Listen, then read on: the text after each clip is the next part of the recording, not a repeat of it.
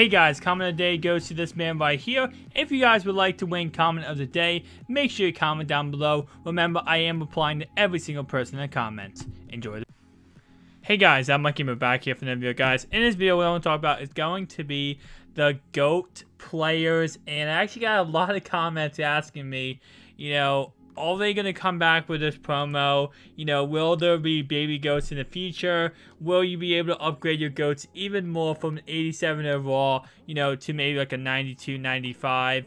And obviously the sets are still in the game right here, the goat sets. Um, if I had to be honest, I think this promo is done.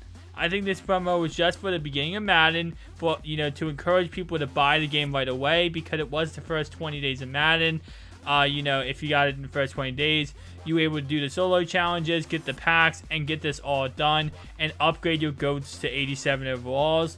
My personal opinion, I do not think this will come back. Now, obviously, if they do, that would be pretty awesome. As of right now, you can spend coins and buy them off the auction block.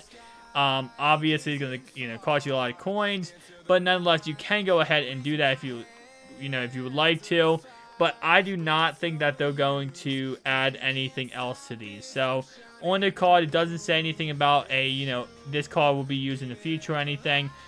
I think this is it for these cards. I think this was just, you know, the beginning pre-order bonus for Madden, and they decided to give a little extra something in there for anyone who did go ahead and do them, so that they could upgrade into an 87, so you could use them a little bit more. Again, on the auction block, baby goats are still being sold. Actually, wait, are they... Oh, no, baby goats. Here we go. They're still being sold. It's just that they're like 24k each because, again, there's not too many. Like right here, personally, we have what? 3, 6, 7, 8, 9, 10, 11, 12, 13, 14, 15, 16, 17, 18. So if you went ahead and bought all these baby goats, one thing would cost you a crap ton of coins, but you theoretically could buy them all, and you know that would cost you around like 500,000 coins but you could go ahead and complete one of the sets. You couldn't complete all the sets. Now, do I recommend doing that? Of course not. I mean, that's going to cost you way too much coins. But I guess if you're desperate and you want those cards back and you want to upgrade your card, let's say to a 90 overall, that's going to be the only way, or 87 overall, that's going to be the only way you can do it because Again, my personal opinion, I do not think they're going to bring him back. They might. There's always a possibility in the future, you know, maybe with different cards coming out. Maybe they'll do like, uh, so this was the GOAT edition for the GOAT edition. Maybe this for the GOATs. Maybe they'll do the Ultra GOATs or the Extra GOATs. Who knows? But for right now, you're not going to be able to get anything better. So you're not going to be able, you're not going to be able to upgrade your cards anymore.